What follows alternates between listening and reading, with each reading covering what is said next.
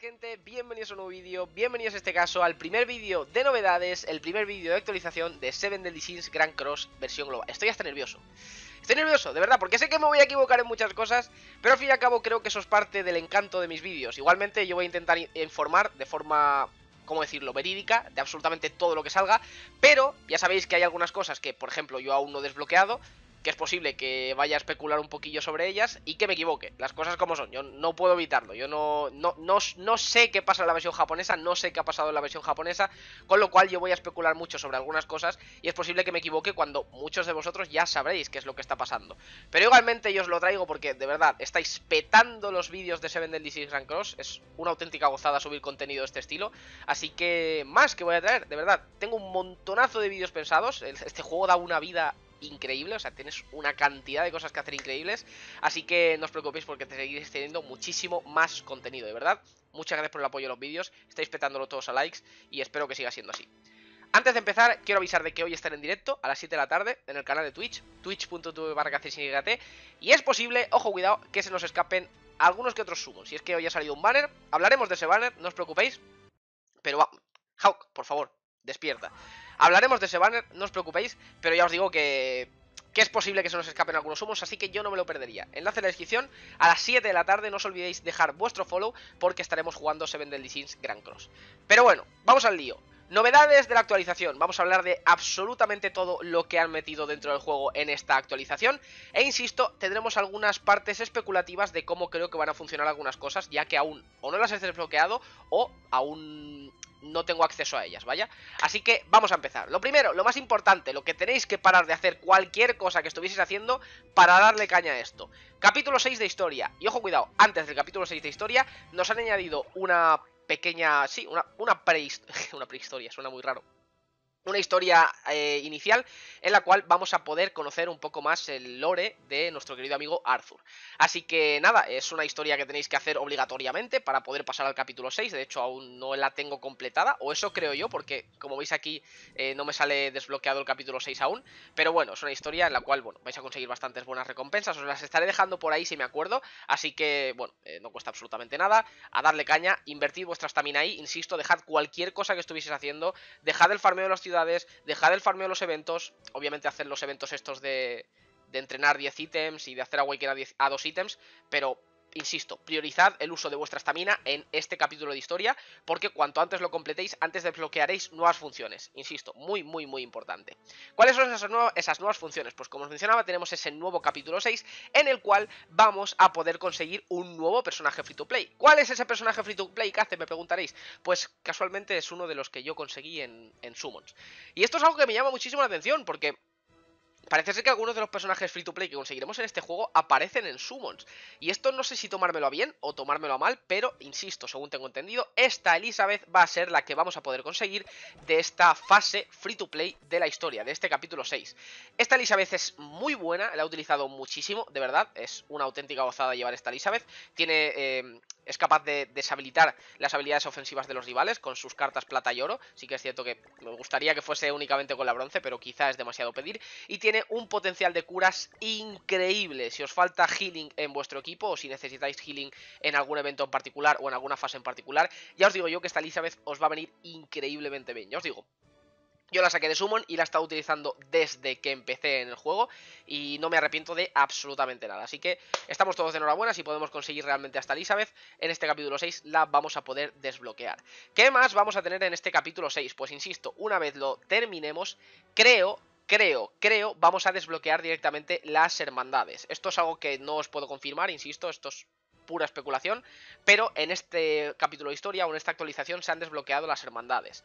Con lo cual, creo que tendremos que desbloquear este capítulo para poder acceder a ellas y una vez accedamos a ellas pues ya poder meternos en nuestras hermandades que tienen recompensas bastante interesantes como por ejemplo un cofre UR diario y una gemita diaria simplemente por hacer login. ¿Qué es lo que pasa? Tanto Carrie como Jafedi como yo vamos a crear eh, nuestra hermandad que imagino que se llamará Hispania o algo por el estilo por los memes en la cual podéis hacer un apply. Vais a tener el enlace en la descripción para meter ese apply a la hermandad. Y si, bueno, eh, esto se va a encargar Carry, yo no, no, os voy a mentir, no, no me voy a encargar de esto porque Carry quiere hacer una hermandad competitiva y entiendo que va a escoger a los que vea los mejores candidatos. Así que si queréis echar suerte, si queréis probar suerte a ver si podéis entrar en la hermandad, pues bueno, rellenar ese formulario de Google que vais a tener en la... Es que parece súper súper serio esto. Este juego se está convirtiendo en algo bastante serio. Pero bueno, rellenar ese formulario de Google y a ver si tenéis suerte y podéis, y podéis entrar en la hermandad. Así que a darle caña, gente. Pero bueno, desbloquearemos las hermandades, lo cual está bastante bien. Un sistema que, que une mucho a la comunidad, de verdad. Así que estoy muy muy orgulloso de poder crear una hermandad tanto con, como con Carrie, como con Jafedi, como con muchos de vosotros, que espero que podáis entrar, de verdad. Luego está el tema de los demonios grises. Como sabréis en el vídeo de anuncio y mantenimiento de ayer, os dije que iban a entrar los demonios grises eh, al juego, que actualmente solo teníamos los rojos. Como sabréis, los demonios rojos, insisto, aquí también viene una parte especulativa, los demonios rojos los desbloqueábamos o los hacíamos spawnear cuando veníamos aquí a la batalla de jefe y hacíamos que cualquiera de estas fases que tenemos por aquí llegasen al 100% de porcentaje, spawneaba un demonio rojo. ¿Qué es lo que pasa? Sigo pensando, insisto, puedo estar equivocado, que si hacemos cualquiera de estas fases de aquí, vamos a seguir spawneando demonios rojos. Pero, como veréis, aquí tenemos la fase del capítulo 6, que yo aún la tengo bloqueada, en la cual entiendo si hacemos suficientes batallas de jefe en esta zona de aquí, desbloquearemos o haremos spawn del demonio gris, que sería el nuevo demonio que tenemos activo en Seven Deadly Sins Grand Cross versión global. Insisto que esto es especulación, quizá me esté equivocando, quizá me esté aquí tirando un triple eh, a, lo, a, Kobe, y puede ser que a lo mejor eh, pueda spawnear un demonio gris en cualquiera de ellas. Pero bueno, yo os digo lo que creo que puede pasar. Si alguien lo sabe en los comentarios, pues agradezco un poco de feedback y que me lo diga, porque yo también estoy aprendiendo. Y creo que eso es lo bonito para mí de estos vídeos. Creo que creo que sois conscientes de ello, de que se nota que estoy aprendiendo con cada vídeo que hago y se nota que voy aprendiendo cada día un poquito más del juego. Y es algo que yo creo que también tiene su encanto, así que me alegra no saberlo absolutamente todo de, la versión japonesa, de verdad. Pero bueno, estos, esto lo desbloquearemos, entiendo, cuando desbloquee el capítulo 6 y eh, esas batallas contra los demonios grises también. ¿Qué es lo que pasa? Eh, los demonios grises son importantes para hacer los limit breaks. Como sabréis, tenemos actualmente eh, un limit break en el cual tenemos acceso para subir a nuestros personajes del nivel 60 al nivel 65, que es algo que os recomiendo hacer a los personajes que más estéis utilizando, en particular King Azul, Meliodas Verde y obviamente a cualquier otro personaje que sepáis que vas a utilizar muchísimo. Pero como sabréis están los Limit Breaks. Para los Limit Breaks, que son la versión esta de super al límite, actualmente necesitábamos eh, este tipo de, cuernecitos, estos cuernecitos, los cuales los conseguíamos en las, eh, las raids de los demonios rojos. ¿Qué pasa? Que ahora, en las raids de los demonios grises, vamos a desbloquear las alas, o desbloquear, o conseguir las alas de los demonios grises. Estas alas serán necesarias para subir el nivel máximo de nuestros personajes del 65 al 70. No sé cómo van a ser estas batallas contra los demonios grises, las cosas como son, pero en el momento en que lo, lo pueda enseñar, en el momento en que lo pueda ver y y reaccionar a ello, vaya, intentaré hacer una guía de cómo van a funcionar esas batallas contra los demonios grises y cuáles son las mejores unidades. Así que, sin más, eh, vamos a tener que hacerlo para mejorar nuestros personajes al máximo.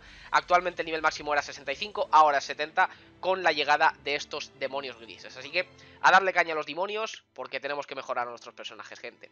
Por otro lado, tenemos el cap, bueno, sí, iba a decir lo del cap de nivel, pero eso ya lo acabo de mencionar. Vamos a hablar del ranking del jugador, que ya ha sido aumentado hasta el nivel 30, yo estoy hasta el nivel 30, madre mía.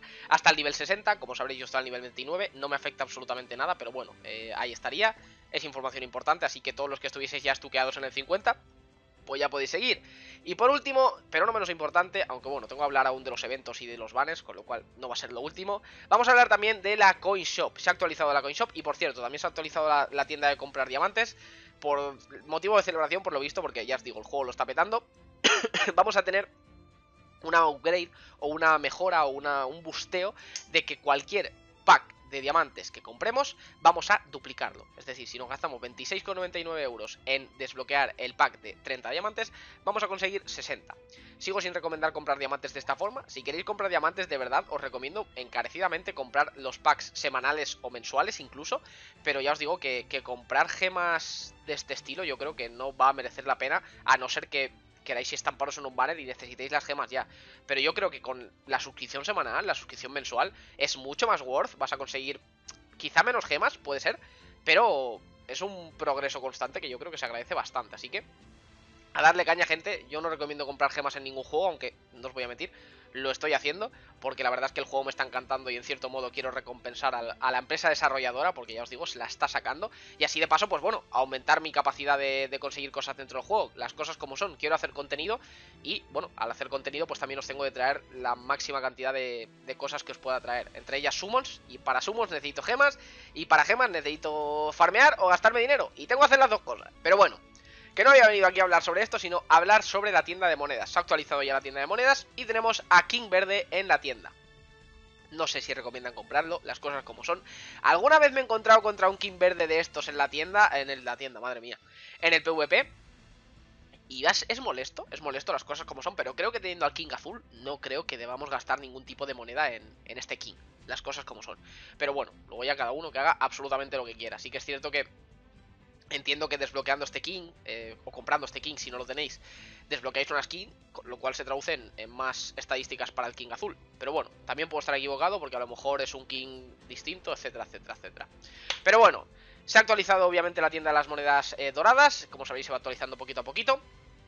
Actualmente rebajados tenemos a Griamor y Hauser. Hauser, de verdad, me encantaría comprarte y por eso es una de las razones por las que me gustaría tirar en este banner. De verdad, quiero conseguir monedas doradas para poder conseguir a este Hauser si es que no me toca. Así que es posible que me estampe porque me gustaría conseguirlo. Es una carta increíblemente buena y necesito daño en área, de verdad, necesito daño en área. Así que no prometo nada, posiblemente se me escapen algunos sumos que otros. De hecho, Igual tiro algún summon en este vídeo. No lo sé, no lo sé. Igual en el directo, seguramente en el directo, gente. Pero bueno, se ha actualizado esta tienda también, bastante interesante. Y por otro lado también, como siempre, la tienda de, monedas, os recomiendo, os recomiendo no, eh, entrad todos los días, gente, porque aquí podemos conseguir un cofre SSR totalmente gratuito. Así que, de nuevo, entrad absolutamente todos los días. Pero bueno, eh, sin más, en esta tienda lo único importante es que se ha actualizado esto. Entiendo que dentro de 7 días, dentro de una semanita, tendremos otra carta nueva. No sabemos cuál va a venir, las cosas como... O sí. No, no lo podemos saber. Al menos de momento. Pero bueno, yo tengo aquí mis dos moneditas preparadas para si algún día sale alguna carta tocha, tocha, tocha. Pero bueno, ¿Qué más nos falta por hablar? Nos falta hablar del tema del nuevo evento, que no recomiendo gastar estamina en este evento hasta que completéis el capítulo 6. No creo que tampoco tardéis en completar el capítulo 6 muchísimo. Pero aquí tenemos el nuevo evento, evento de monedero de Hawk. Yo lo he probado, las cosas como son, es bastante sencillito. Y eh, vamos a poder hacer 5, bueno, 5 veces al día, sí, 5 eh, veces al día pasarnos eh, los eventos de, este evento que queramos. Aparte de eso, también tenemos las misiones extra, como siempre, las misiones secundarias del evento que nos dan más recompensas. ¿En qué se traduce este evento? Un evento para conseguir orito, ya está, no hay absolutamente nada más. En, en la última dificultad tendríamos un 4% conseguir un cofre de SSR, que bueno, para conseguir algo de oro siempre está bien. Y también tenemos un límite de, poder hacer esta, este evento, así que tampoco vamos a poder invertir mucha estamina en este eventito de aquí. Pero os recomiendo obviamente hacerlo en el momento en el que os sobre la estamina, que hayáis terminado ya el evento, bueno, el evento, el, capítulo 6. Ya os recomiendo, sí, obviamente, haceros este evento porque son recompensas totalmente gratis y bastante orito diario. Así que a darle caña, gente. Por último, banner. Vamos a hablar de Merlín, vamos a hablar un poquito de este personaje, de este nuevo personaje que está bastante bien.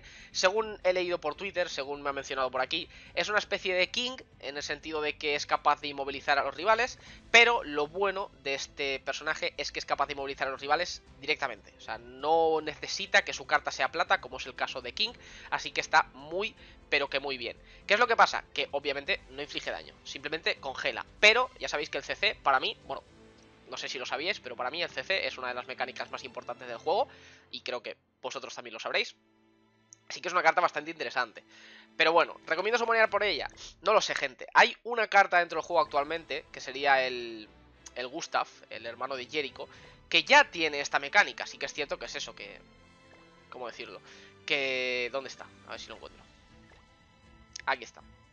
Sí que es cierto que no va a llegarle ni a la suela de los zapatos, Gustav es un, SR, entiendo que Merlin va a ser bastante más potente, pero si necesitamos una mecánica de congelar, siempre podríamos requerir de este personaje, siempre podríamos utilizar a este personaje.